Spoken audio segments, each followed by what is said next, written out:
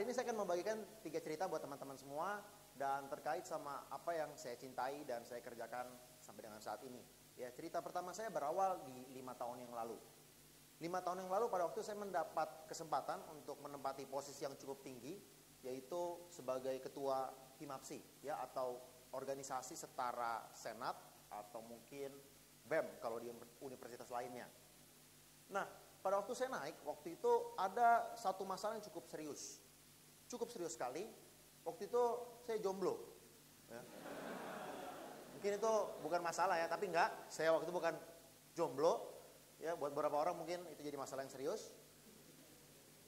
Jadi masalahnya sebenarnya ini adalah fenomena yang dari yang saya temukan itu mungkin sampai sekarang masih terjadi dan mungkin teman-teman pun mengalami karena saya yakin banyak yang ikut pasti ikut juga organisasi kemahasiswaan di sini ya masalahnya adalah fenomena yang saya sebut sebagai IIM atau 4L Alias, kalau misalnya teman-teman ikut dalam suatu organisasi atau kepanitiaan, maka orangnya rata-rata IIM, itu-itu mulu. Ya. Atau kadang-kadang 4L, lu lagi, lu lagi. Ya. Itu yang sering kali terjadi. Udah di kelas kita ketemu, di kepanitiaan A ketemu, kepanitiaan B ketemu, di WC kita ketemu kadang-kadang, ya kan? Bro, gimana kepanitiaan bro? Ya, itu yang terjadi. Pulang juga ketemu jangan-jangan di bus, ya. Jadi ketemunya orang itu-itu aja. Dan sebaliknya juga apa yang saya rasakan juga sama orang juga muak lihat muka saya dulu karena saya mulu ikut-ikutan di organisasi, ya. Dan waktu itu saya bingung apa yang mesti saya lakukan. Tapi saya berangkat dengan sebuah pertanyaan pada waktu itu. Sebenarnya apa sih yang membuat orang-orang ini tuh akhirnya jadinya itu-itu mulu? Apa yang jadi pertanyaan mendasar? Kenapa sih experience apa yang mereka alami? Sehingga akhirnya orangnya itu-itu aja gitu. Apa sih yang terjadi? Nah, waktu itu saya lakukan gampang sekali saya coba lakukan dua hal. Yang pertama yang saya lakukan adalah saya tanya ke orang-orang dulu. Saya tanya ke banyak orang, ke mahasiswa-mahasiswa psikologi pada waktu itu karena saya dari fakultas psikologi. Saya tanya, apa sih yang kalian rasakan kalau mau gabung dalam organisasi? Ya, apa sih harapan kalian, ekspektasi kalian dan lain sebagainya? Saya tanya. Kemudian yang kedua saya lakukan adalah saya amati dan observasi, ya, saya observasi dan analisa prosesnya seperti apa yang terjadi. Pada waktu itu seperti itu yang saya lakukan. Dan dari dua hal yang saya lakukan ini, ada tiga poin menarik yang saya ketemukan pada waktu itu. Yang pertama adalah banyak orang, mungkin yang di belakang nggak terlalu kebaca, banyak orang bilang, saya tuh merasa diperlakukan tidak adil.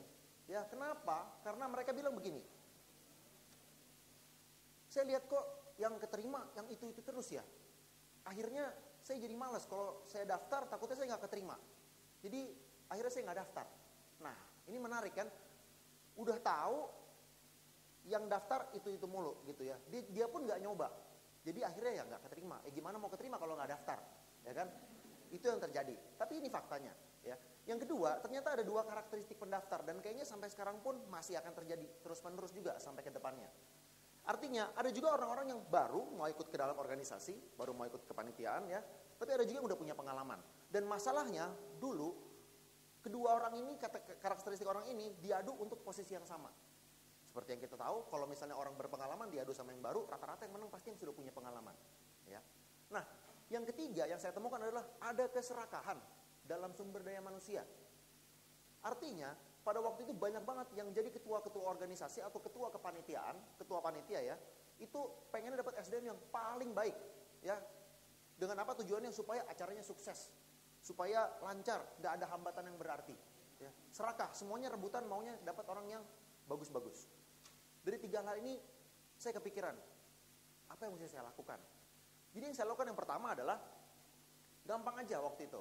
Saya bujuk banyak ketua-ketua panitia pada waktu itu saya bujuk, saya rayu-rayu tolong dong buka slot buat orang-orang baru supaya mereka bisa ikut dalam kepanitiaan teman-teman.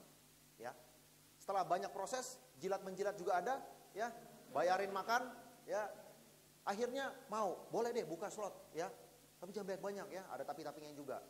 Yang kedua yang saya lakukan adalah sejak saat itu semua CV dikategorisasi. Ada yang baru, ada juga yang sudah punya pengalaman dan mereka diadu untuk posisi yang berbeda.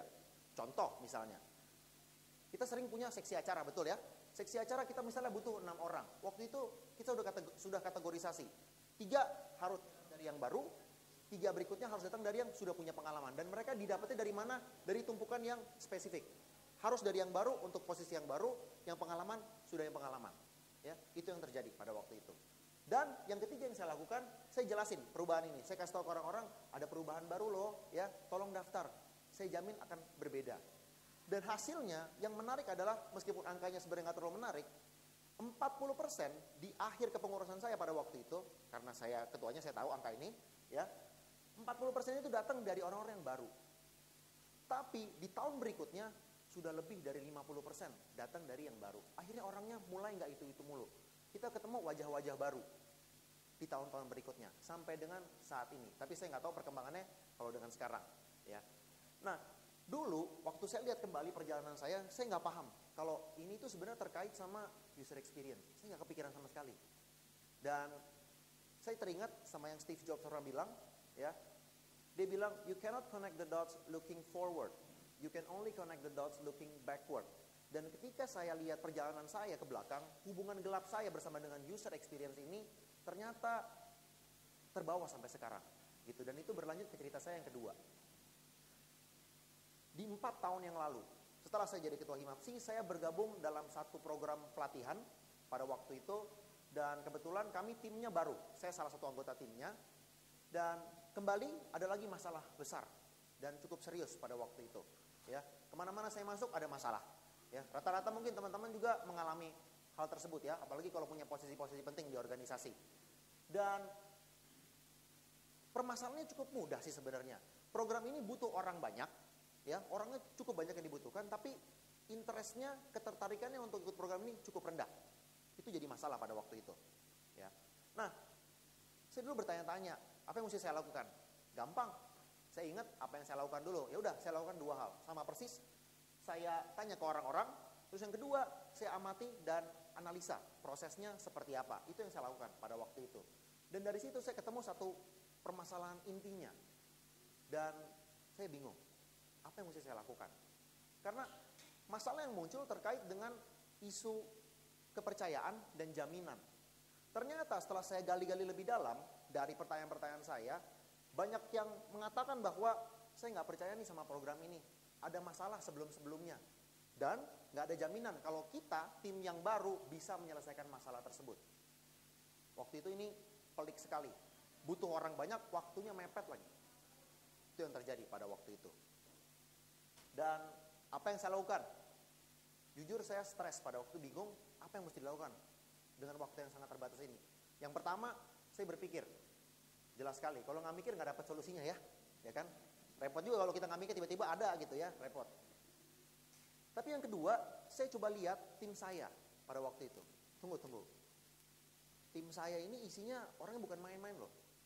Isinya ada mantan ketua organisasi, ada mantan ketua panitia, asisten dosen yang berkualitas juga, kemudian ada juga dosen yang kalau ditanya nggak usah deh diper, diper, diperbandingkan lagi kaliber pengajarannya. Oke di pengajaran, oke juga di aktivitas non pengajaran. Ya. Lalu saya kepikiran ada satu ide pada waktu itu. Gimana kalau misalnya saya taruh foto anggota tim saya dan saya taruh di poster pada waktu itu. Jadi ibaratkan ini poster, saya taruh di sini nih, kurang lebih. Dan saya tulis, mari bergabung bersama kami. Itu yang saya tulis, itu yang saya lakukan, itu yang saya tulis di situ hanya seperti itu. Dan hasilnya saya pun kaget. Ya, ternyata ada lebih dari 230 orang ambil formulir. Belum pernah dalam sejarah program ini orang 230 ambil formulir.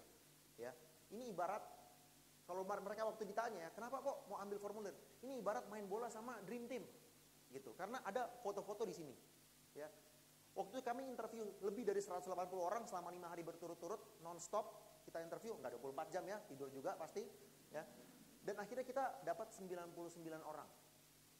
Dan ini lebih dari cukup. Jadi hanya dengan pasang foto bisa punya impact seperti ini pada waktu itu, ya. Dan saya kepikiran, wih, gila banget nih, ya. Wow, hal kecil aja, simpel aja kita bisa punya impact yang luar biasa besar. Itu yang saya pikirin gitu. Nah, pertanyaan lu nggak berhenti sampai sini, ya. Mungkin ini juga yang membuat nama saya nama panggilannya Aming gitu karena agak-agak miring. Ya. Jadi orang biasanya berpikir, oke, okay, gimana kita supaya bisa lebih besar lagi? Pertanyaan saya saya balik, bisa nggak lebih kecil lagi? Bisa nggak? Perubahannya sangat kecil tapi punya dampak yang begitu besar. Bisa nggak? Tapi pertanyaannya akhirnya saya nggak bisa jawab karena saya fokus untuk mengerjakan program ini di tahun berikutnya lagi. Ya, jadi akhirnya saya benar-benar lupa soal UX ini. Totally saya lupa, saya nggak kepikiran sama sekali dan ya udah, saya benar-benar meninggalkan soal UX ini. Tapi yang namanya jodoh nggak ke mana. Ternyata hubungan saya bersama UX ini kembali dipertemukan di dua tahun yang lalu. Ya, dua tahun yang lalu pada waktu itu saya udah kerja. Ya, nah kerjaan saya waktu itu cukup mudah. Gampang aja kalau kata bos saya, semua bos rata-rata bilang kalau ada kerjaan mah gampang kerjain aja, gitu kan ya. Mungkin seperti itu, ya. Dulu kerjaan saya gampang.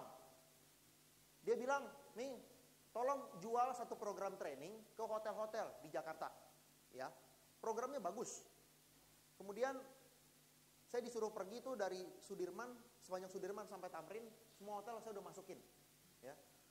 Door to door tuh, ketok-ketok ya, Pak, saya ada training Pak, mau coba nggak pak segala macam itu saya lakukan dulu ya ditolak ya susah banget jualan training ternyata ya saya kesel waktu itu stres saya ke WC saya kencingin hotelnya ya. Itu yang saya lakukan ya. Pada waktu itu kayak gitu gitu. Kesel banget saya wah baru mau ngomong gitu. Orangnya nggak ada ya udahlah stres. Saya ke WC saya kencingin hotelnya ya. Setiap hotel udah saya kencingin ya. Sepanjang Sudirman Tamrin ada bekas-bekas saya di sana. Nah, di momen stres saya, saya bingung banget gitu. Ini gimana nih mau jualan training Gak bisa-bisa gitu. Ya hampir tiap hari saya waktu lakuin tuh, lakuin jualan training ini. Dan gak ketemu solusinya. Dan di momen stres ini kembali muncul memori-memori terkait sama user experience. Ya, jeng-jeng muncul tuh. Wah, dulu apa sih yang saya lakukan? Kalau misalnya saya ketemu masalah seperti ini, saya kembali ingat-ingat dan akhirnya saya lakukan lagi ada dua hal. Tapi gak bisa sama. Kenapa? Karena saya gak bisa tanya lagi ke orang-orang yang udah menolak saya gitu. Pak, kenapa tolak training saya pak? Gitu. Udah repot ya saya jualan ditolak, kemudian saya tanya lagi pak kenapa nolak saya gitu ya. Satu-satu saya masukin lagi. Bisa. Jadi akhirnya saya tanya diri sendiri ya. Terus saya kencing lagi jatuhnya. Gitu kan? Karena ditolak juga kan. Ya, jadi saya tanya ke diri saya sendiri gitu. Terus yang kedua, kembali saya amati dan analisa prosesnya. Itu yang pada waktu itu saya lakukan. Nah, dari hasil ini ternyata benar-benar ada insight yang luar biasa. Karena ternyata kalau saya ada di posisi yang saya mau beli program ini, saya takut banget pada waktu itu. Takut banget beli program ini ya. Bukan karena programnya mengandung unsur horor atau ada bunuh-bunuhan di dalamnya, bukan. Tapi program ini modulnya banyak, ada 10 pada waktu itu. Dan Terlebih lagi makan waktu yang lama dan harganya lumayan mahal, juta-jutaan per orang kalau mau ikut program ini. Ya. Kemudian saya bingung mau gimana gitu ya, apa yang mesti saya lakukan. Tapi di sini saya teringat gitu, pertanyaan yang saya belum bisa jawab. Bisa nggak ada hal yang saya lakukan tapi sangat kecil, tapi punya impact yang begitu besar. Bisa nggak itu saya lakukan? Jadi saya lihat pada waktu itu modulnya ada 1, 1 sampai 10 ya. Kemudian saya bikin dua garis pada waktu itu. Simpel sekali di sini, di antara modul 3 modul 4, di antara modul 6 modul 7 ada dua garis yang saya garis. Kemudian saya bagi programnya ke dalam tiga kategori. Basic, intermediate, sama advance. Kayak kelas akuntansi. Ya. Kurang lebih begini. Gitu ya. Nah, hasilnya setelah program ini dibagi, orang mulai tertarik untuk beli. Taunya dari mana? Karena orang mulai tanya, ketika saya tawarin, Pak, saya boleh nggak coba modul yang basic dulu, satu dua tiga, ya boleh nggak? Nah dari situ kelanjutannya saya kurang tahu karena setelah satu setengah bulan kerja di kantor tersebut saya langsung resign. Yang alasannya saya nggak bisa kasih tahu karena mungkin itu akan jadi TED Talk selanjutnya, ya. Jadi yang saya mau highlight dari pengalaman saya adalah ada satu pertanyaan penting gitu. Kenapa kita harus desain segala sesuatunya berdasarkan user experience, berdasarkan pengalaman orang yang berinteraksi dengan produk atau jasa kita? Kenapa? Karena saya percaya sekali, saya percaya sekali bahwa terkadang jawaban dari berbagai permasalahan kita adanya itu di user kita, di harapan mereka, di point of view mereka, di sudut pandang mereka, di kekhawatiran mereka, dan di ekspektasi mereka. Saya udah kayak pendeta belum? Jadi karena hal-hal ini, saudara-saudara yang terkasih, gitu ya. jadi JPCC nanti ya, repot. Oke, jadi sebenarnya ketika kita tahu hal-hal ini, kita tahu point of view mereka, kita tahu harapan mereka, ekspektasi kreator mereka, ada sesuatu yang terjadi, yaitu posisi kita berpindah. Posisi kita nggak ada di atas user kita, nggak di bawah mereka juga, nggak di depan mereka, tapi kita ada di samping mereka. Kita ada di samping mereka, kita lihat apa yang mereka lihat, kita rasakan apa yang mereka rasakan, kita pahami apa yang jadi kekhawatiran mereka dan kita tahu ekspektasi mereka seperti apa. Ya. Dan pertanyaan saya kepada teman-teman semua, teman-teman sudah belum mempertimbangkan user experience dalam berbagai hal yang teman-teman lakukan di organisasi, di kegiatan pengerjaan tugas, di relasi sosial dan lain sebagainya. Sudah belum? Ya. Dan kenapa ini saya tanyakan? Karena banyak orang di luar sana itu mendesain segala sesuatu untuk dirinya sendiri, untuk kepuasan dirinya sendiri. Ini yang bahaya. Nggak pernah memposisikan dirinya ada di usernya. Dan sering kali atas dasar inovasi atau formalitas. Contoh, ya, setiap kali kita ikut acara, pasti suruh isi ya, ada feedback form. Bagaimana pendapat kamu mengenai acara ini? Yang saya tahu kebanyakan, data dari feedback tersebut jarang banget diolah. Kalaupun diolah, nggak ada tindak lanjut yang lebih lanjut. Ya, sering banget. Saya yakin banyak di antara orang-orang di sini nggak pernah baca LPJ kepengurusan. Kalau misalnya ada di organisasi, ya. Padahal sebenarnya itu adalah masukan yang sifatnya dari user, dari orang yang mengikuti atau berinteraksi dengan produk atau jasa kita. Ya. Nah, jadi apa yang bisa teman-teman lakukan buat ke depan? Dan ketika kita mendesain berbasis user experience, maka hal-hal kecil itu jadi penting sebenarnya. Dan kadang-kadang hal-halnya sepele sekali.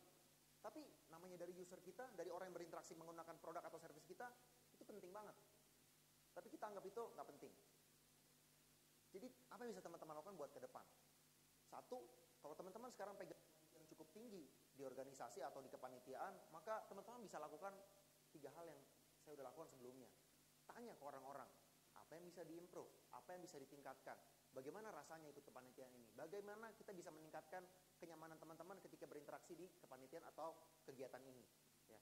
Kemudian yang kedua, tanya ke diri teman-teman sendiri gitu. Apakah teman-teman kalau misalnya ada di posisi yang menerima servis atau produk atau jasa ini sudah cukup nyaman atau belum? Hal itu bisa teman-teman lakukan. Dan yang pasti teman-teman harus analisa dan amati proses lebih lanjutnya seperti apa. Ya. Nah, terakhir yang mau saya sampaikan adalah saya percaya bahwa jawaban dari berbagai permasalahan itu bukannya nggak bisa ditemukan, tapi menunggu untuk ditemukan. Ya, bukan yang nggak bisa, tapi menunggu untuk ditemukan. Dan cara kita untuk menemukan jawaban dari berbagai permasalahan tersebut adalah dengan mengubah posisi kita, nggak di atas user kita, nggak di bawah mereka, nggak di depan mereka, tapi kita ada di samping mereka. Kita lihat apa yang mereka lihat, kita rasakan apa yang mereka rasakan, kita pahami harapan dan kekhawatiran mereka, dan kita tahu apa sih yang jadi ekspektasi mereka. Ya. Dan saya percaya, ketika kita melakukan hal-hal ini, maka kita bisa lihat jawaban dari berbagai permasalahan yang mungkin sekarang sedang kita hadapi. Dan terkadang Jawaban dari permasalahan yang kita hadapi ini bukan hal yang besar. Bisa jadi hanya hal yang sepele, tapi punya dampak yang luar biasa besar. Jika teman-teman lakukan. Terima kasih.